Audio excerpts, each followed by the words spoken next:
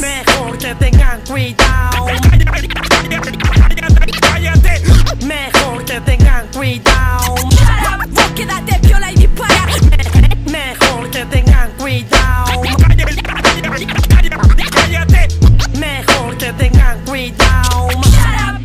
te viola y dispara.